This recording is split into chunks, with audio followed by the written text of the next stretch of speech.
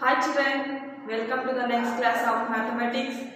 Today let us revise the tables of 2 ones, 3 ones, 4 ones and 5 ones. 2 ones are 2, 2 twos are 4, 2 threes are 6, 2 fours are 8, 2 fives are 10, Two six are twelve. Two sevens are fourteen. Two eights are sixteen. Two nines are eighteen. Two tens are twenty. Three ones are three. Three twos are six. Three threes are nine.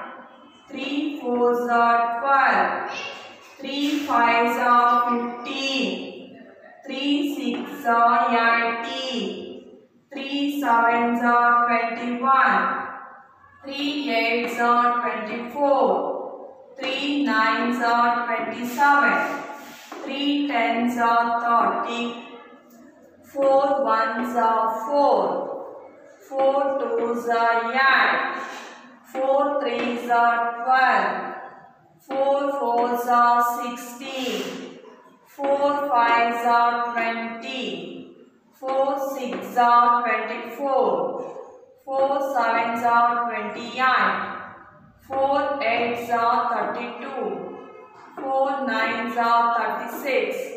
Four tens are forty.